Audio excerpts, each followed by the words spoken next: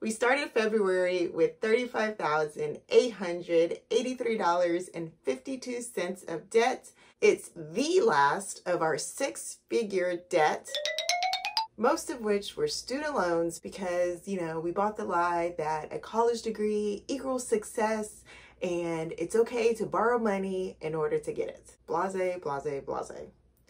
But you live and learn, and we will never go into debt again. Do you hear me? Like, never. Our hope was to pay off all our debt and to be debt free in 2023. The beginning of 2023, we laid out a nice little plan, and you can check out that video to see that. But there have been some developments. One being that we are going to owe taxes to the IRS.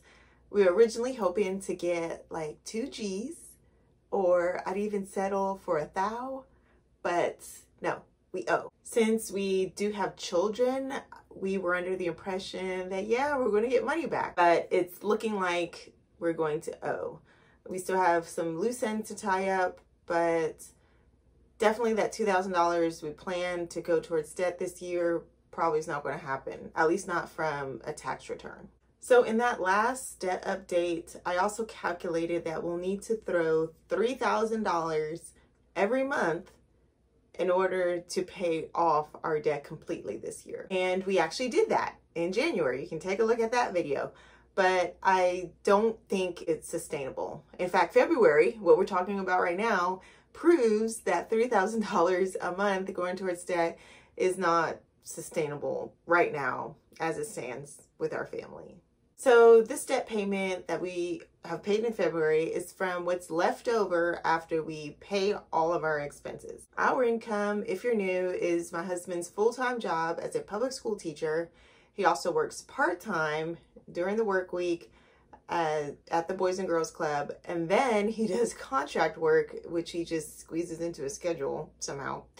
Uh, writing for ed tech companies, education publishing, things like that. I also have a weekend job. It's not that much. It's actually minimum wage, but um, it's working Friday, Saturday, Sunday, and it just works with this schedule for now.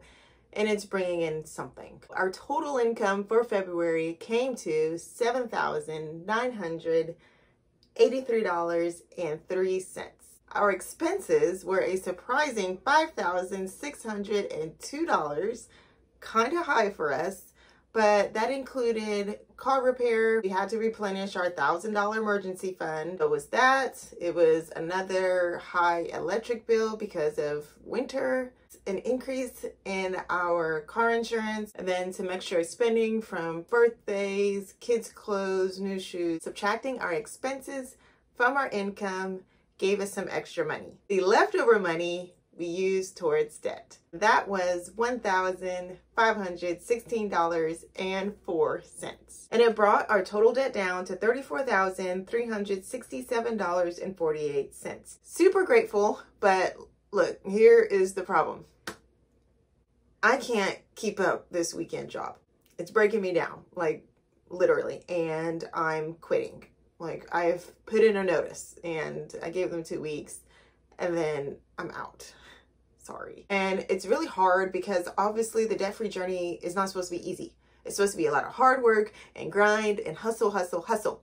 And what I was doing basically was standing on my feet for hours and hours and staying up till like one and two in the morning and then having to get up like seven or eight in the morning for either church or take my children to their homeschool group and barely getting any sleep, falling behind on like house stuff, laundry, dishes, groceries, all that. And it literally took me a whole day or two to recover from the weekend, like just to catch back up and be at to zero. And guess what? I'm not getting paid for those recovery days. But here's the kicker, because I probably could have gotten used to that, like just with a better planning and the fact that the school year is almost over.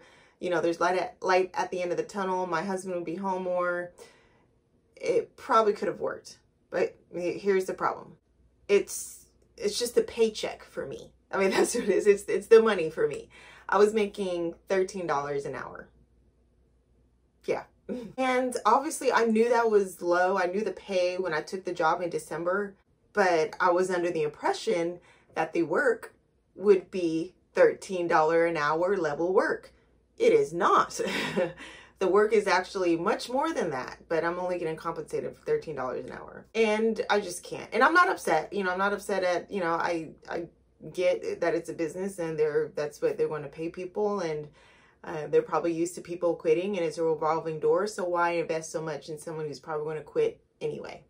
I get it. That's fine. But I just realized that I can make a lot more doing something else. I mean, let's face it. I've actually made some online sales for whatever reason. People are shopping online more. Even me, who has a small store, is getting some play.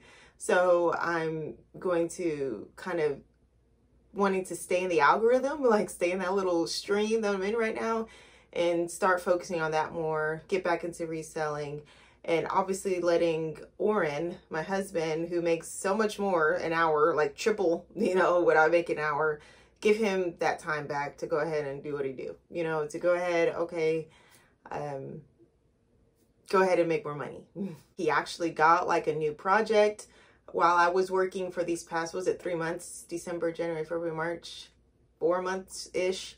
Um, he was kind of late on um, some benchmarks and like deadlines for a project he was working on. And had he had the time from when I was working, if he had that time to work, he probably would have been on time. So um, with this new project, you know, he wants to put a better impression and obviously get the work done and have it done at the time that he said that he will. I'm actually a little sad because I thought I found something that could work for us. I liked the idea of regularly throwing money towards debt. I like the idea of regularly getting this paycheck, you know, um, you know, I haven't had that in a long time. I could still get that. I could still have some regular money coming in. It's just, I'm, it's not guaranteed anymore. It's not on, um, it's not just there. I'm to have to go out and, and work harder for it which is fine. Then in that video in January, we laid out paying $39,000 in a year, which included $15,000 coming from my part-time job. Obviously, that's not going to happen anymore. so we need to figure out and adjust again how we're going to make that work. But yeah, it's just, you know, it's been a struggle. You know, I've been or we as a family have been late to church, you know, because I'm not up, you know, with the breakfast and getting children ready and getting myself ready. And, um, and then that group on Monday, we've been late, just not having things prepared and, you know, all these extra things that have been, you know, coming up, been late to that. And it's all because of being so wiped out from this job. Well, I'm at the job, it's not too bad. Like I said, it's just recovery. You literally feel like you've been hit by a truck. Like, oh my goodness, like what happened? but it's fine. Like all this disappointment, I'm going to harness this disappointment energy and throw it all into making money from home in March and just going bananas with that as hard as I can. And we'll see what happens. Thanks so much for walking with us on this journey. And wherever you are in your debt free journey, keep at it.